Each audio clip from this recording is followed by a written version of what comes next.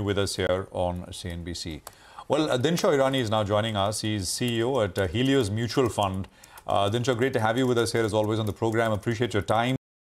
Uh, so, uh, you know, the, the basic question before we get into what you like and don't like and what you've been doing is uh, what people, a lot of, uh, I think most want to know is, is, the, is this period of volatility backs kind of behind?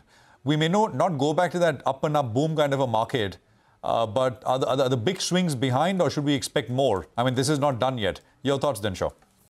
Uh, good afternoon, Prashant, and a very good afternoon to you, uh, your viewers and the team at CNBC. So, Prashant, basically, our call is uh, that uh, this year itself, forget about uh, uh, the present times. I think this year itself is going to be very volatile. It's going to be a very choppy time period. And if I was to go chronologically, I think it'll start off with probably the quarterly numbers. The March quarter numbers, I don't think are going to be that great our feel is they'll be fairly disappointing. I mean, we we talked to quite a few uh, uh, uh, companies and industries and stuff, and you can see that uh, palpable weakness in demand in the markets as such. So it's obvious that uh, the numbers are not going to be that great. In fact, if you remember, even the December numbers, they were mainly driven by the the margin expansion rather than from top line. The top line has been coming up. Top line growth, in fact, was a very low single digit, if I remember, for the December numbers. So March is going to be a disappointment. In fact, it'll be the first quarter after probably six consecutive quarters of earnings growth uh, that you'll see some uh, cut in earnings uh, going into the into the March quarter as such. And if, if things don't improve, uh, at least on the rural front, that may continue even in the June quarter. So you're talking about two consecutive bad. So that's one reason why we expect that choppiness to continue. The second and uh, one is obviously elections. I mean, they play a lot, uh, role in uh, the, the, the markets are fairly volatile around that time. The budget is going to be very transformatory. That's what I've be, I believe. So, uh, but still, I mean, there'll be a lot of rumors flying around at the point in time. It will create some amount of choppiness. And the third one, the fourth one, sorry, is obviously the interest.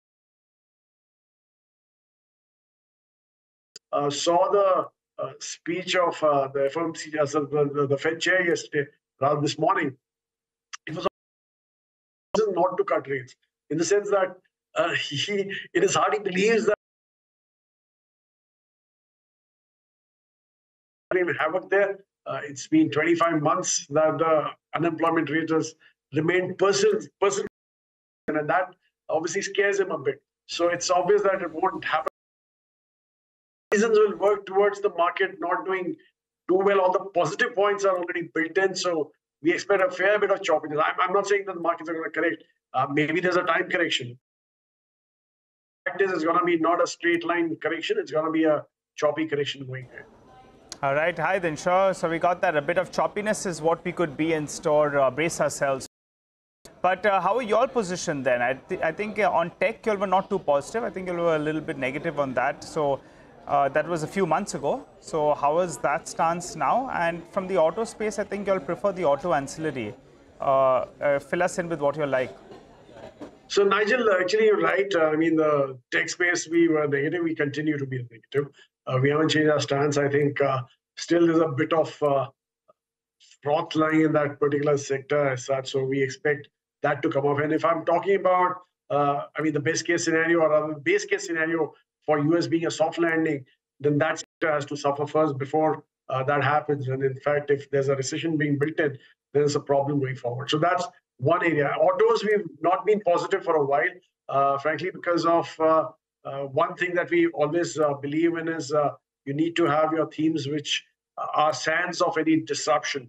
And the disruption in auto is the EVs, and we don't expect that to go away. In fact, now we're talking about hydrogen, hydrogen playing havoc with the ICE uh, space. So it's obvious that uh, there'll be a lot of choppiness in that uh, sector too. So it's better to avoid that sector as of now. So these are the two reasons. And uh, you asked us how we playing this.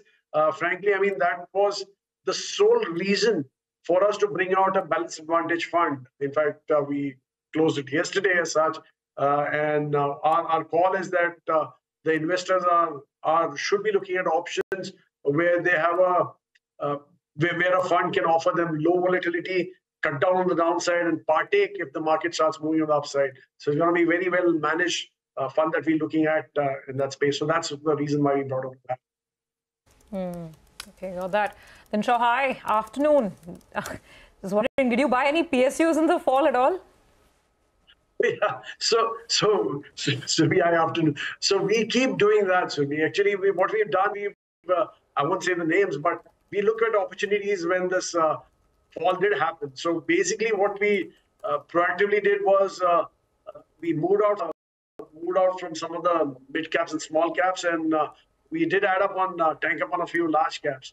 Uh, some of the PSUs happened to be in the large cap, so we did tank up there. And by the way, there were some PSUs in the mid cap space also, which we did add up on. So we remain with the fundamentally sound stories as such, where growth is quite visible. So that is what we'll be playing with in this time. No, but give us some more clues, right? Because PSUs is a wide, wide universe. PSU large caps meaning uh, oil marketing companies? Do you mean Coal India? I mean, it's a wide universe. Then you have power utilities. This, there are lots of them. So which ones do you think are safe, have decent value, and one can still be uh, sort of betting on? So okay, so you mentioned one of them, the oil marketing companies. We did uh, okay. add to those.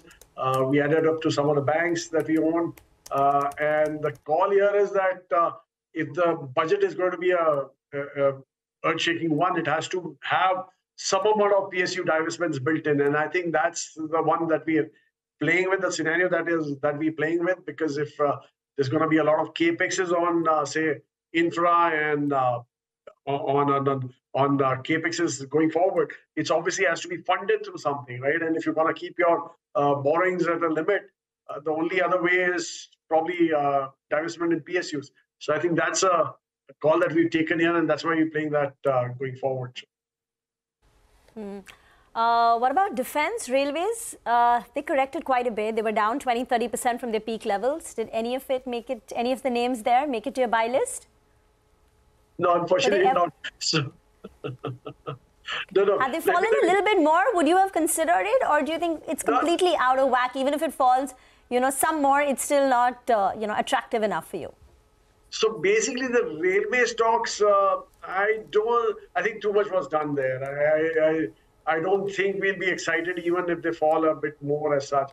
But within railways, there's one particular stock which is more of tourism related, right? So that's the one which we uh, picked up, I think. Uh, so, so I won't take the name, but you can very well guess what I'm talking about. So that was the one which we picked up, and that's because we are very gung on domestic tourism.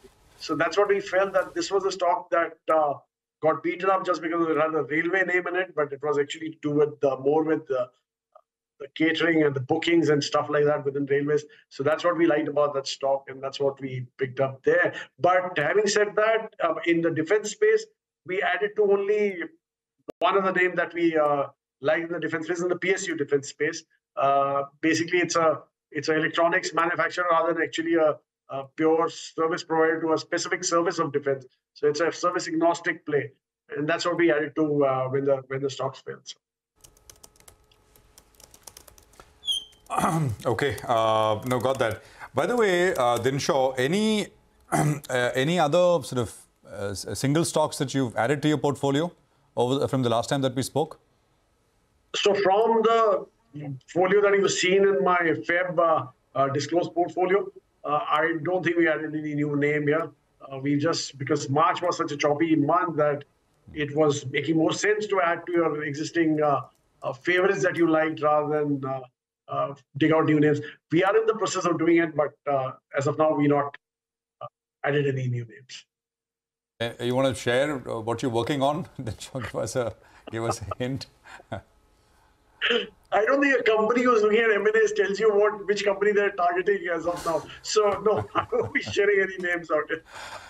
You know, uh, uh, let me ask you then. Uh, Angel, right? Angel Broking. Uh, stock. Uh, actually, let me ask you about two names. One is Angel, the other is IIFL. Uh, the reason I mention these is because grow, fast-growing companies, both Angel fell some 35-40% from the highs. IIFL, of course, is halved in value. There is the RBI sort of observations and order there. Uh, again, but growth before all of this was, of course, extremely fast. Uh, the, you know, the NBFC has been doing well across segments. Any any thoughts on these two names, uh, Dinshaw? So I'll tell you, I mean, I forget the two names that you mentioned, but the fact is that they both deal with stock markets, right? And we actually liked, we like names, I mean, which are, which we call as gatekeepers to uh, the wealth that India is going to produce, right? So that's why we like uh, names like Motilal that we have in our portfolio. Uh, but uh, yeah, I mean, we've been studying these two stocks. Uh, so we'll be obviously, uh, I won't be commenting on that, but the fall has made it much more exciting for us to look at those names also as such. So I'll, I'll leave it here. Uh, Prashant, I think I've given you enough hints uh, for what our thought process is on this. Okay, you already own Motilal, so yeah, I mean that's that's fine. I mean you know you you you already have something in that. By the way, exchanges, uh, Dinshaw, we were talking about that earlier. Uh, you know, there's uh, BSE in the commodity side, MCX, and perhaps at some point NSE, but uh, there. So we have a MCX with us. Uh, okay. Uh, and obviously, we'll be looking at uh, any new offering which comes by also quite uh, closely as and when it happens. Okay. Uh, got that. Dinshaw, just one uh, sort of quick word on real estate, right? Uh, you know, is it time to start making, is the market starting to make a little bit of differentiation between, say, uh, Mumbai-based players, which are doing very well, Lodha, etc., uh, whereas you look at something like a Sobha, you look at Prestige, these still remain 20, 25% lower uh, from where they were a fortnight back. just, just your thoughts there. So, Prashant, actually, uh, we used to own uh, uh, one name in real estate, and we moved out on that name because we felt that the sector was becoming too hot for us to handle. Because even on the book value basis, they were looking very expensive as such. Forget about the P's and EV EBITDAs or whatever you want to value them at. And actually, I believe that whatever is uh, happening today, I think there's a lot of fraud built into that sector. If anything, the regional players look much more uh, sober, but mainly these guys are more, uh, I would say, uh, politically uh, connected people. So it's basically better to stay away from uh, those kind of stocks as such. But anyway, we're not too keen as of now on the on the sector. Okay, maybe a little too hot.